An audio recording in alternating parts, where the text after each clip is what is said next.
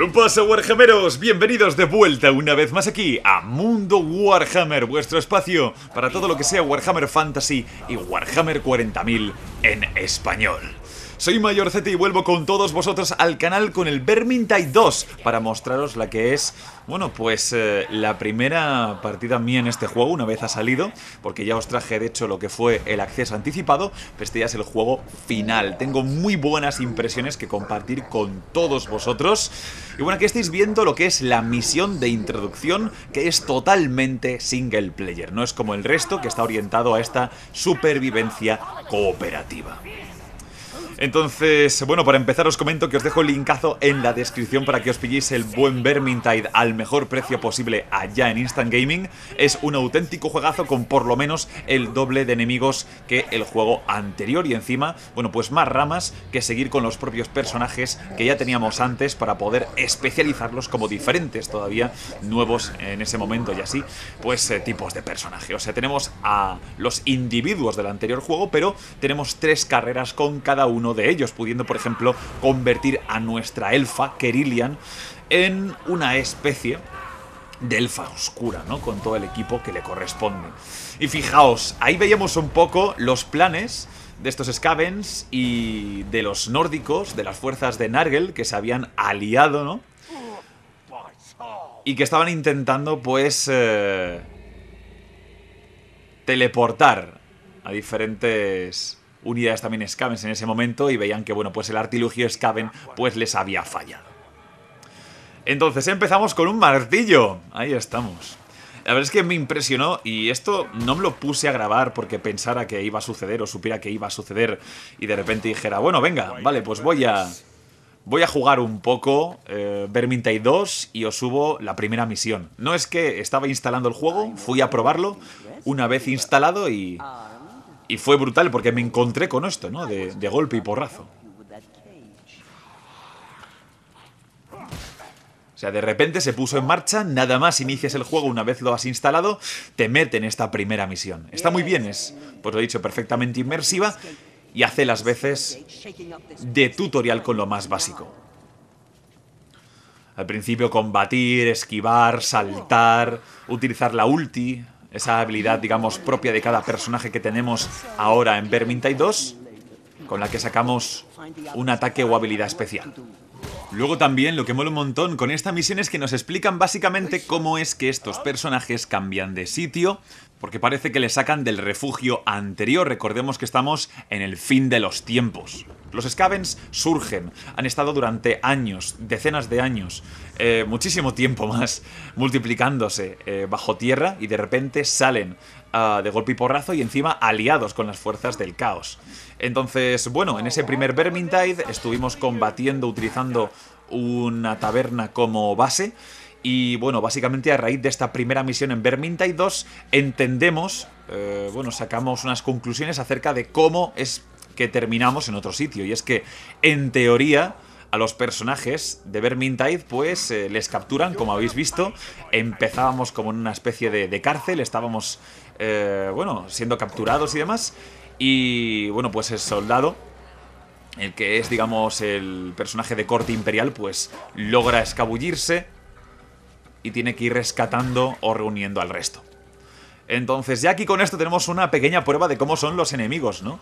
De estos eh, merodeadores del caos. Lo dicho, son fuerzas de Nargel, y es que Korn siempre ha sido muy importante en la historia de Warhammer ya sabéis, uno de los cuatro poderes del caos, pero Nargel gana muchísimo protagonismo en el fin de los tiempos. Llega hasta Silvania, se enfrenta al imperio, se enfrenta a los condes vampiro.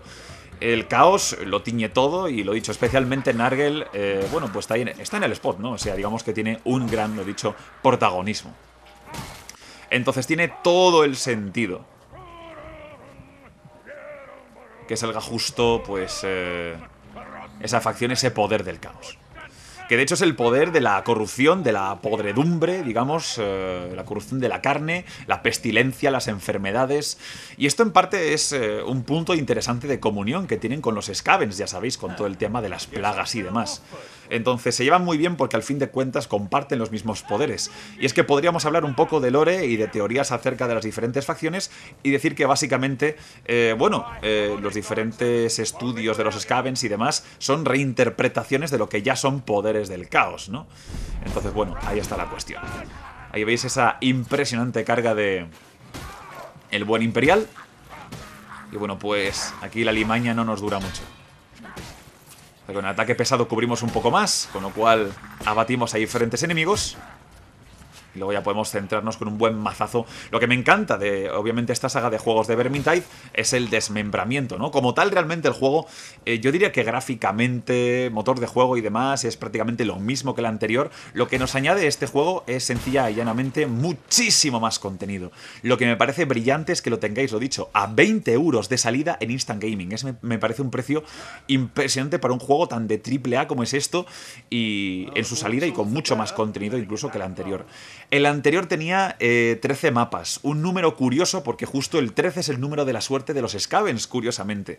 Este juego contiene más mapas, lo dicho, contiene eh, más un poco de todo y hasta el espacio donde se desarrolla, eh, digamos, la espera antes de meterse en partida también es más grande. O sea, tenemos una especie de castillo abandonado en lugar de la taberna y es, más tocho, tiene más espacio y básicamente todos los pequeños updates que ha ido recibiendo el Vermintide 1 eh, en torno a sistema de mejoras para volver el juego un poco más persistente, pues el Vermintide 2 lo tiene de base, con cosas como la forja y demás y otras tantas, bueno, pues cuestiones, ¿no? A todo esto debo de comentar que esta versión de juego es eh, una Collector Edition que me dieron los de Vermintide y debo de deciros que es muy posible, no quiero adelantar acontecimientos, que en el futuro me den case para sortearos a todos vosotros. Pero de momento lo dicho, no perdáis la ocasión porque tardará un tiempo en llegar, lo dicho, ese instante, ese momento. Y si queréis aprovechar ahora mismo para levelar a vuestros personajes y disfrutar de salida a este juegazo, pues ya sabéis dónde lo hacéis. Linkazo en la descripción. Lo dicho, eh, de hecho teníais el Vermintide 1 a, nada, a, un poco, a unos pocos euros, a un puñado de euros. Y es que es un juegazo, o sea, el Vermintide 1 de verdad, aunque haya salido el 2, pillároslo también porque tiene mapazos. Y bueno, cada mapa, ya sabéis que, digamos, está inspirado en una diferente historia, o sea, es una mini historia de cada, de este grupo, digamos, de personajes, o sea, de cada eh, zona y demás. Entonces, no es que el Vermintide 2 tenga todo lo que tiene el Vermintide 1 y, sea un juego más completo. O sea, tiene los mismos enemigos y muchos más, tiene los mismos personajes con más carreras, pero los mapas no son los mismos, ¿vale? Y hay mapas muy buenos en el Vermintide 1. Y es que lo dicho, el Vermintide 1 es que está tiradísimo. De hecho, ahora mismo que lo estoy comentando, también os dejaré el link a ese juegazo en Instant Gaming. Pero vamos, es que lo dicho, no quiero rayar mucho en el tema porque parece que os estoy vendiendo el, asunto, pero es que, tío, me parece flipante que este juego esté a 20 euros. O sea, ¿qué queréis que os diga? Estoy acostumbrado a que otros juegos, incluso de, de, la franquicia que es Warhammer, como por ejemplo Total War Warhammer, de salida a escena 40, 50 pavos, ¿no? Y, y ver a este tan genial, o sea, me maravilla. Luego también hay nuevos diálogos en los personajes, que bueno, ya sabéis, si habéis visto mis gameplays, que hablan entre ellos y demás, se interaccionan. no porque lo hagan los jugadores durante el cooperativo, sino porque, bueno, yo que sé, el elfo habla con la enana y tal, y se lanzan chascarrillos, o sea, está guapísimo. Y también dan pequeñas pistas acerca del lore para aumentar esa profundidad respecto a, bueno, la experiencia, ¿no? Del fin de los tiempos.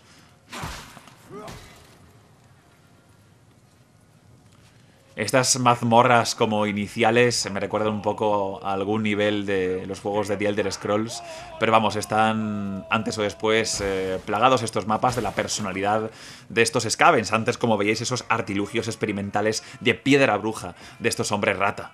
De hecho, bueno, la piedra bruja de Morsliev, pues ahí la veis, ¿no? O sea, es eh, cada una de esa especie como de gemas verdes. Y bueno, aquí vemos pues uno de los típicos elementos para interactuar en los mapas. Esto es bastante corriente en Vermintide. Y bueno, pues eh, por completar un poco más o menos lo que es el tutorial, que es esta misión introductoria. Aquí, cuando voy a revivir, la verdad es que estoy un poco en babia y bueno, pues sí que es cierto que le revivo, pero luego además tienes que curarle y cuando me voy a utilizar la curación, en lugar de curar al enano, que era lo que pedía la misión, me curo a mí mismo. En fin, eh, es mi momento genio del día. Me lo vais a ver ahora. O sea, como podéis adivinar, pues no estoy comentando esto, digamos, en directo mientras grababa esto, sino que, eh, bueno, pues eh, lo comento a posteriori porque ya os dije al principio que me tomó por sorpresa. O sea, yo no sabía que había, digamos, una misión de single player aquí en Vermintide 2. Pero se agradece, no me lo esperaba, pero oye, está, está muy bien. A ver, al fin de cuentas es un juego cooperativo y me lo compro por lo que es. Pero ver que intentan innovar o que te intentan a lo mejor dar un tutorial de una forma, eh, digamos que exige una mayor creatividad que cuatro gilipolleces para que sepas controlar lo básico, pues está bastante bien. Luego encima también veis al humano utilizar un poco el arco. Pero vamos, eh, yo quiero utilizar a Kerillian, mi amada elfa Silvana, y hacer que vaya por la carrera de, sombra elfa oscura y que se pille la ballesta de repetición. O sea, es mi objetivo. Sin embargo, he estado mirando... Oh, por cierto, ahí ya llega el momento, ya comento después lo otro. Eh, ahí llega el momento de encontrar a Kerillian, que fijaos que cambia la skin. De hecho, podéis eh, pillar diferentes apariencias para los personajes y demás. Y de hecho tenéis la apariencia del juego anterior, del Vermintide 1, para Kerillian, aquí en Vermintide 2. O sea, aquí en Vermintide 2 creo que tiene pinta como de ir un poco más ligera, ¿no? No lleva un traje tan pesado. no es que el anterior fuera muy pesado, pero ahora va todavía, digamos, acentuando más su look como Way Watcher.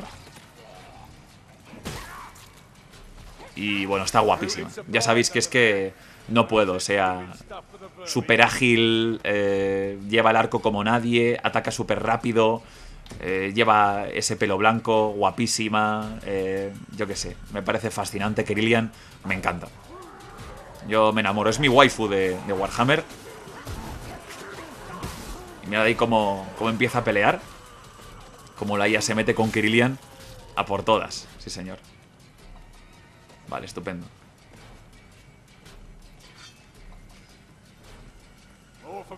Pues sí, ya no sé qué os estaba comentando antes, que bueno, he cortado el tema en cuanto ha venido Kerillian, pero es que tengo que darle la, la importancia ¿no? que se merece.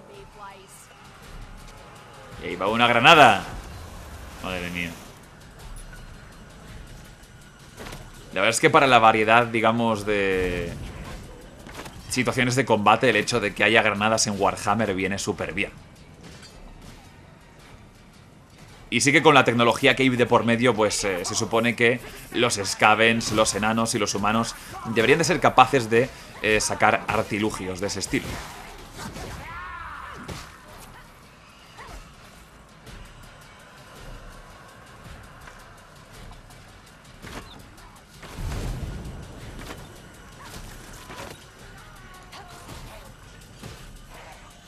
Ahí veis un poquito más de combate. Debo de deciros, eso sí, una cosa muy importante que tenía planeado comentaros con este gameplay. Y es que, em, bueno, se ha notado muchísimo el cambio del acceso anticipado de esa beta eh, cerrada que había a lo que es el juego ya definitivo. O sea, yo tenía miedo porque decía, joder, es que mm, solo han pasado dos semanas, pero no, no, no, o sea, la build es completamente distinta y, bueno, pues había algún bug de texturas en el acceso anticipado, aquí no lo he podido encontrar. Y aparte de eso, la optimización del juego es brutal. O sea, si os iba bien el Vermintide, como me ha sucedido a mí, el Vermintide 2 os irá genial también. O sea, durante la beta cerrada a mí el juego me iba no a tirones, pero sí muy bajo de frames y aquí me he notado muchísimo más a gusto. O sea, me va el juego bien, no se me caen los frames de ninguna forma así en plan rara. Entonces, yo lo dije en su momento cuando, bueno, saqué ese primer gameplay del Vermintide 2 y es eh, me da la sensación de que esto va un poco mal y tal. Había alguno comentándome, cómprate una nueva gráfica. Y yo decía que no, que no, que si me va el Vermintide 1 me tiene que ir este. Y al final, eh, bueno, pues con un poco de paciencia hemos demostrado que tenía razón. O sea, el juego está muy bien optimizado, la verdad es que es una gloria para los gráficos que tiene. Y, es brutal. Luego, por supuesto, como siempre, muy cuidado, pero vamos, esto ya estamos acostumbrados del Vermintide 1, eh, lo que es el aspecto sonoro, ¿no? Y ahí estoy viendo a, a Kerillian, que me encanta. Muy bestias, por cierto, las carreras de los personajes. Hay alguna de Fuego Nasus, de la hechicera, que mola un montón también. Bueno, aquí nos vamos a encontrar con el quinto personaje. Saltspire. El cazador de brujas, que se va a poder especializar incluso como flagelante aquí en Vermintide 2. Entonces... Realmente lo que el juego ha hecho es apostar por estos personajes, pero realmente, aunque en teoría no te da nuevos personajes, sí que te los da. Porque al fin de cuentas, eh, bueno, pues un flagelante no tiene nada que ver con un cazador de brujas. De hecho, tiene tres especializaciones, cazador de brujas, eh, cazarrecompensas y flagelante. Entonces las formas en las que juegas con el personaje, el equipamiento que tienes y demás, eh, es algo que cambia por completo. Y de hecho aquí veis, pues lo que os estaba comentando, cada personaje con sus tres carreras y con sus diferentes habilidades, eh, que es la habilidad, digamos, activa y luego la pasiva. Fijaos, fijaos las skins, las apariencias de, de las diferentes clases. Pero, y esta es la que me gusta, la siguiente. La sombra. Qué bueno. Y ojo, el cazarrecompensas mola un huevo, ¿eh? O sea, es como si fuera un caballero, pero, pero con armas de fuego, lo cual me recuerda a lo que es el batidor en Warhammer, que es básicamente la versión mejorada del herreruelo. Ahí dentro del imperio. O sea, tenemos dos personajes imperiales, una elfa, un enano y luego ya una hechicera. Bueno, la hechicera también es que es imperial, pero bueno. Bueno, aquí veis lo que es la estatua de Sigmar de la edición coleccionista.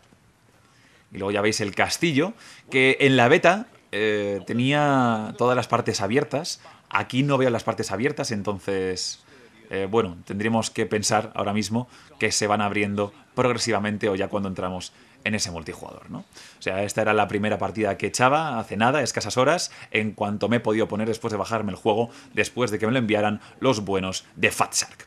Así que nada, metedle un buen pedazo de like, espero que os haya encantado, lo dicho, linkazo en la descripción si os interesa, que Sigmar sea con vosotros. G.